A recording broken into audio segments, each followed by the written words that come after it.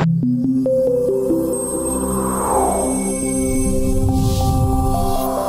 guys, this is Molly from Molly Pearson Fitness and it is 1040 right now and I just spent the last eight hours in a car. I drove from Berkeley to Joshua Tree to Big Bear to Lake Arrowhead to Santa Barbara and back up to Berkeley.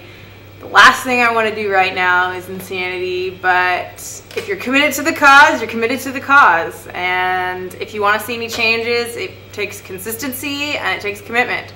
So here I am, 1040 at night, uh, really tired, about to go do this workout. So I'll see you at the end of it.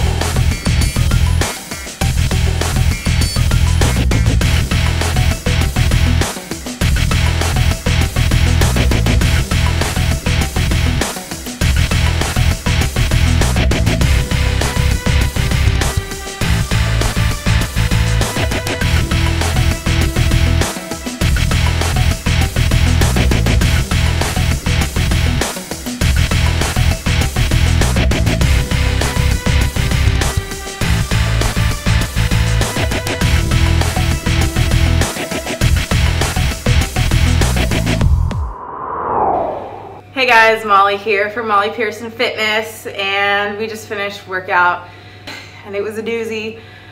Uh, I was really tired today so I tried to focus on form because I knew I wasn't going to have the speed that I wanted to today so it was really important to just stay safe by keeping good form. Um, and you may notice that in some of the stretches I actually do a slight variation than he's cueing on the screen and that's just stuff that I know about my own body from years of working out and being active and being, you know, doing gymnastics and vaulting and riding and cross training and all that stuff. I just kind of figured out what works for me. So if you're the same, go ahead and do what works best for your body. Same with me not wearing shoes. It's, you know, really important, I think, to wear shoes if that's what you're used to. I've pretty much cross-trained my whole life without wearing shoes.